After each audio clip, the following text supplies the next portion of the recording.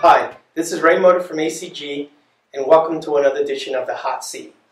There's a lot of things going on in the SDN and NFV world that all these terms is driving everybody crazy, but there's a lot of excitement here. Joining me today is Sunil from Nuage, who's the CEO and president. Thanks for joining the hot seat. Absolutely. I appreciate it. And I think this is your first hot seat, right? Yes, indeed. Good. Well, welcome there. Thank you. Uh, he's agreed to sit down and just help clarify some of the things for us, but more importantly, some of the things going on specifically to his company. Why don't you quickly, as we do in the hot seat, Yeah. we get right to the point. The customers don't have time for the fluff, right? Of course. So tell me a little bit about what Nuage is in, a- in a summary point of view. Absolutely. Um, so Nuage Networks uh, is a wholly owned subsidiary of Alcatel-Lucent. Um, and at Nuage, what we have built is a rather modern and comprehensive um, software-based solution that provides massive automation on any existing network infrastructure.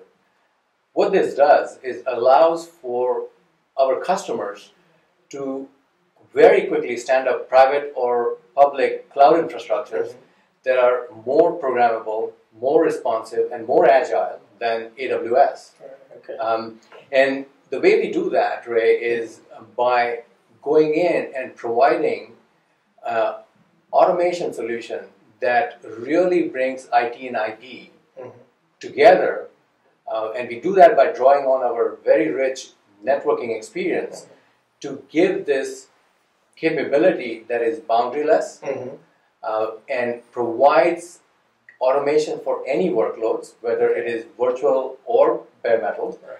It is able to provide seamless connectivity to the wide area, to the VPNs, which is where the customers are, and it allows um, for any environment to be automated, as in any hypervisor environment. So it's completely independent of hypervisor environment, uh, network infrastructure that might be in place already, Right. uh, as well as any orchestration platform. Right. Okay.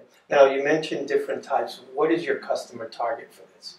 Uh, Great question. So, what we are seeing right now Mhm. uh, is the large tech enterprises Mm-hmm. are extremely interested in getting a solution like this to make their networks Mhm. like AWS. Okay. And this is what the CIOs are telling me Right. because the lines of businesses are going around them Right. and going to the public clouds, Mhm. and that sends shivers down their spine. And Right. what they want to provide for their existing customers and internal customers Right. is an agile infrastructure Okay. where they're able to deploy applications very rapidly onto the cloud. Right. And, and so it's large tech enterprises Mhm. as well as pure play cloud service providers. Perfect. Now, there's a, a lot of uh, things going on regarding just regular controllers, overlay. How would you say you differentiate in that piece? Right. So you're absolutely right. There's a lot of hype and noise in the industry um, with regards to SDN. Certainly, what we are doing is we are leveraging on our experience of having built very large multi-tenanted VPN networks, Okay. and, and then taking and drawing on that experience to make the data center infrastructure, Right. which are existing infrastructures, Mm-hmm. able to provide the same level of sophisticated overlay technology. Mm-hmm. Uh, and we do that by using the same rich routing control plane Okay. So, that is used in the our uh, 7750 Alcatel-Lucent routers. right. Okay. Well, why don't we go to a whiteboard and uh, you show me how this works a little bit, if you don't Absolutely, yeah. No, Okay. let me let me show you on the whiteboard. All right. Let's shift to it. So let me tell you, Ray, as we were talking with regards to the whole discussion in the industry about the overlay and underlay. Look, if you look at what we have done for the last decade in the wide area, we've had the wide area underlay, and on this underlay, using an IP-MPLS substrate, what we have done is we have created VPNs, uh, IPVPNs, VPLS, VLLs. And we've been offering these services to enterprises. Service providers have been offering these services to um, enterprises for over a decade. And they're secure, they provide consistent SLAs. No enterprise customers question the capability and, and the way these are delivered. And now you look at what's going on in the data center network. So if you were to look at the data center infrastructure, that has largely remained static. Um, the whole idea is to create similar overlays like the VPNs, and that's where you have the overlay technology. And the way we create this overlay technology is leveraging the same exact principles that we've used for over a decade, and we draw on our experience of having built and now having a very strong incumbency uh, with Alcatel-Lucent service routing to provide those overlay networks. And the way we do that is by Now, what, what are those other uh, devices up there to the um, overlays there? Um, indeed. So the overlay is basically where the virtual machines. Mhm. So imagine every server that is virtualized would have a hypervisor, and the hypervisor uh, have VMs, virtual machines attached to it. Now, as we know, in every single data center, there's always a mix uh, of the workloads. There are virtualized workloads, and then there are non-virtualized workloads. That's where you need a gateway, where the gateway connects the bare metal servers to that overlay. And the technology that we use to talk and create these overlays is the VXLAN technology. So these are the VXLAN tunnels that are largely providing this overlay. Now, what we have as part of Nuage is our SDN controller called Virtualized Services Control, and this is the SDN controller that uses OpenFlow to program the hypervisors and with the forwarding entries. It is the one that uses the same exact routing protocol that is being used in the routers. And that's really a big differentiator for us because by doing that, we are able to do provide federation and scale out for connecting multiple data centers together.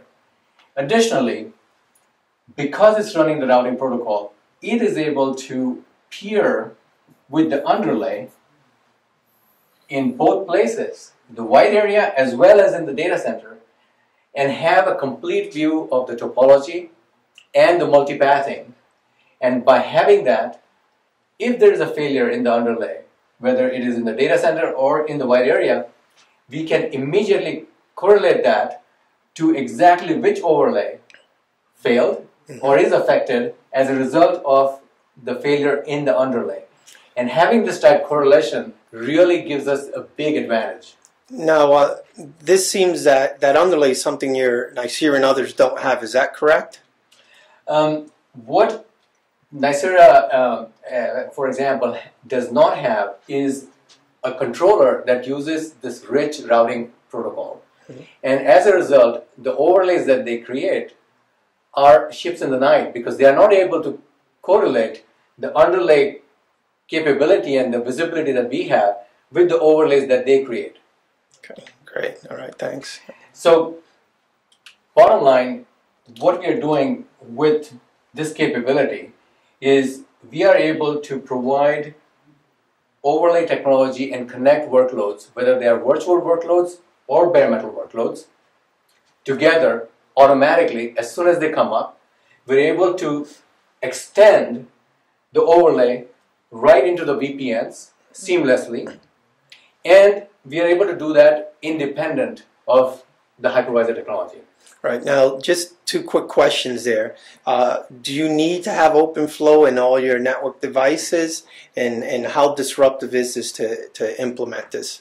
Great question. So, by using the technology that we have used, clearly the way we have designed our solution, it is completely independent of existing network infrastructure. We will go in and with a software-based solution, allow any data center infrastructure to be fully automated.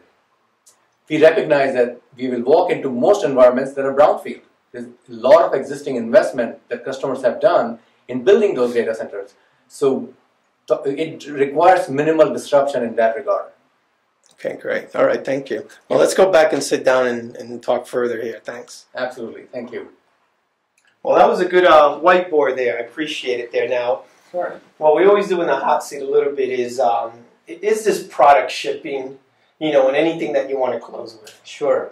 Um, so what I'd like to say is that it's the only product that has been shipping since May.